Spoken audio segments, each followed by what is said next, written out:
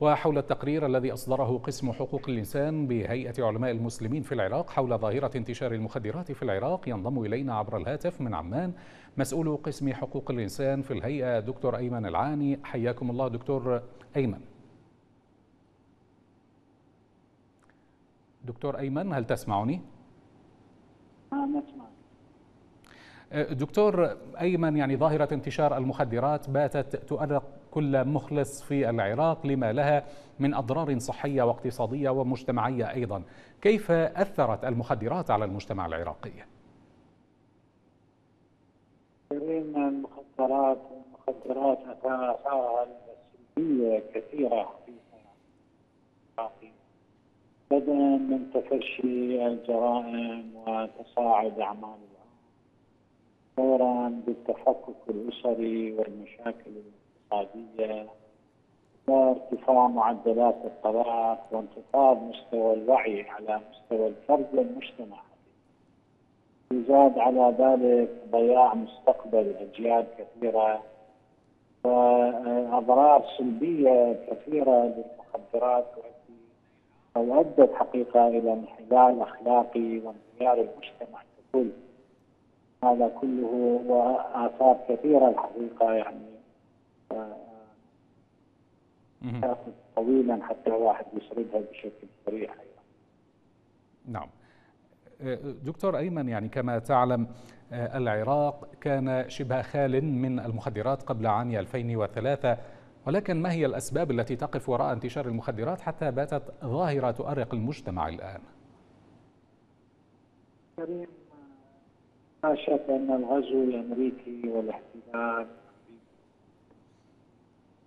وما عقبهما من ظهور للميليشيات وتفشي الفوضى وغياب القانون وحل الجيش والأجهزة الأمنية. كل هذا طبعا يعني جعل الحدود مفتوحة أمام العصابات مع الاحتلال. وكان بعد أن كان العراق شبه خال اليوم هو ممر لكثير من كبيرة من إلى دول الجوار فضلا عن أنه أصبح مستهلكا لهذه المعدة القاتلة للفرد وللمجتمع والمضرة جدا على الصحة هل يمكن الربط بين الفساد الحكومي المتجذر وضعف النظام الأمني أيضا وتنامي ظاهرة المخدرات برأيك؟ الفساد أخي الفاسدون هم متورطون بهذا الموضوع. مسألة تربح و يعني تعلم جنابك وشاهدون أنه مثلا المخدرات هي من باب تمويل الميليشيات التي هي تشكل الحكومات والتي أصبحت تسيطر على الأجهزة الأمنية بعد شكلتها وأسستها بعد الاحتلال. وهذا كله طبعا أمر ممنهج وهنا المنهجية في ضعف الجانب الأمني كي تستمر هذه المشكلة وتتفاقم. وهذا الذي يجري حقيقة هو تنفيذ جاري لهذا التهديد الكبير الذي يهدد المجتمع. دكتور أيمن يعني لماذا الربط بين انتشار المخدرات والمحافظات الجنوبية المرتبطة بمنافذ حدودية مع إيران؟ أخي الكريم يعني هذه بشهادات حتى الأجهزة الأمنية وبعض الجهات المحلية معظم المخدرات التي تدخل إلى العراق مصدرها إيران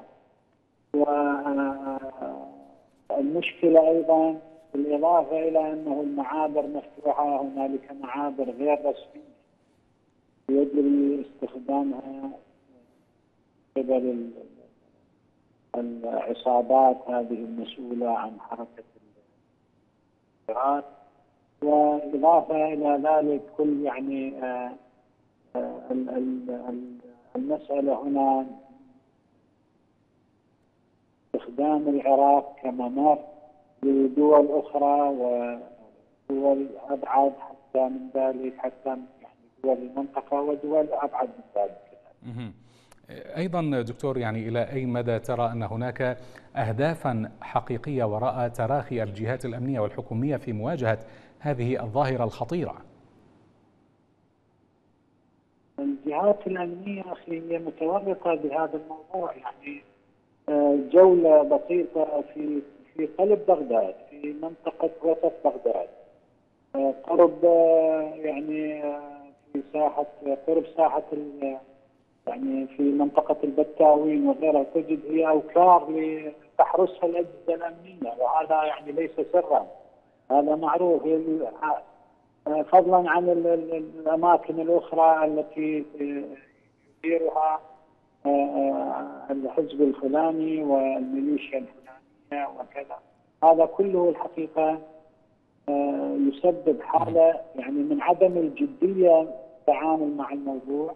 يعني هنالك ضباط يشتكون طبعا لا شك أنه يوجد ضباط نزيهون يريدون أن يعملوا لكن هؤلاء قلة قليلة وتضييق عليهم شديد وضغوط كثيرة وتهديدات بالقتل يعني حتى أنه آه، في سابق الأشهر السابقة حالات كثيرة يتم القاء القبض على تجار المخدرات لكن بالنتيجة هذا الشخص الذي قام بإلقاء القبض تجده ينقل إلى مكان بعيد جدا وينفى كأنما من البلد.